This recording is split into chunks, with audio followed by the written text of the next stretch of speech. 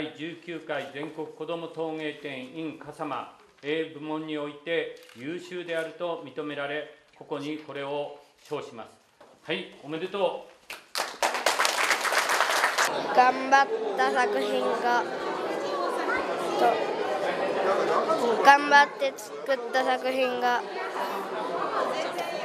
大きな賞をもらえて嬉しかったです嬉しかったです。鱗はつけないけど筆で鱗を表すようにして塗りました。私が住んでるところはお茶の産地で身近な風景を作ってみたいなと思って作りました。お茶の葉を一枚一枚作るのを工夫しました。